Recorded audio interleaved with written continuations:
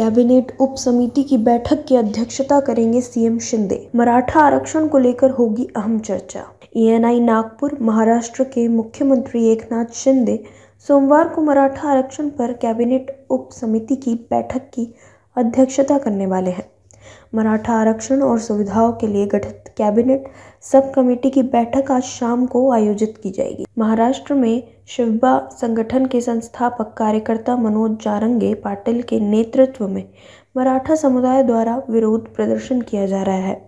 ये सभी ओबीसी श्रेणी के तहत सरकारी नौकरियों और शिक्षा में आरक्षण की मांग कर रहे हैं। मराठा आरक्षण पर निर्णय लेने के लिए सरकार द्वारा 24 दिसंबर की समय सीमा निर्धारित करने के बाद जारंगे पाटिल ने 3 नवंबर को दूसरे चरण में अपनी अनिश्चितकालीन हड़ताल वापस ली थी। भूख हड़ताल के बाद तेज हुआ आंदोलन। 25 अक्टूबर को जारंगे के अनिश्चितकालीन भूख हड़ताल पर बैठने के बाद मराठा समुदाय के आंदोलन ने गति पकड़ ली। आंदोलन में हिंसा, आत्महत्याएँ और आरक्षण के समर्थन में विधायकों के इस्तीफे भी हो गए। महाराष्ट्र में कुंभी प्रमाण पत्र जारी करने की प्रक्रिया शुरू हो चुकी है। मालूम हो कि कुंभी समुदाय ओबीसी श्रेणी में आरक्षण के लिए पात्र है। अगले आंदोलन की दी चेतावनी। इससे पहले रविवार को कोटा कार्यकर्ता पाटिल ने मराठा आरक्षण पर एकनाथ शिंदे के नेतृत्व वाली महायुति सरकार को 24 दिसंबर के बाद का समय देने से इनकार कर दिया था। उन्होंने कहा, हम 24 दिसंबर 2023 के बाद एक घंटा भी नहीं देंगे। तब तक मराठों को आरक्षण सुनिश्चित करें। अगले आंदोलन में तीन करोड़ से अधिक लोग होंगे।